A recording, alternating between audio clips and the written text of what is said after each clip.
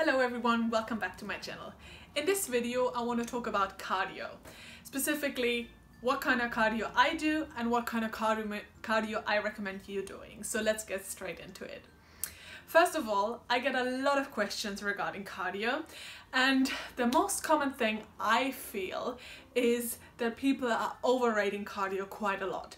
They think the only way to form the body and to lose weight is to do loads and loads of cardio. And that is not the case.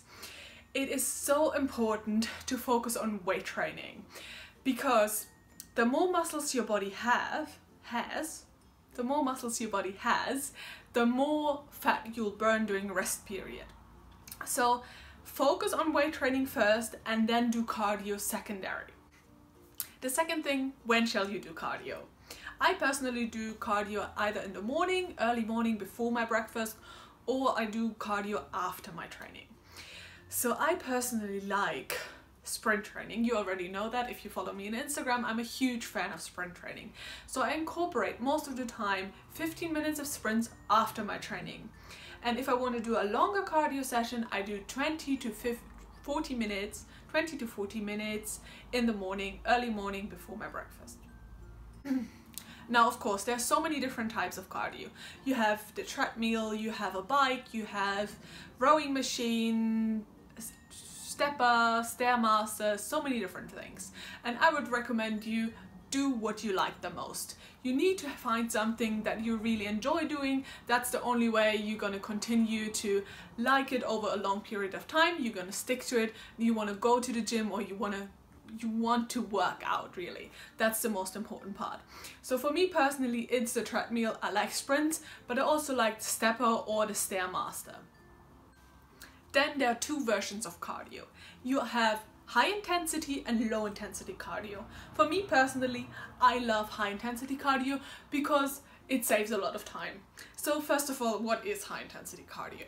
So for example, I go on a treadmill I sprint for 30 seconds and then I step out for 30 seconds.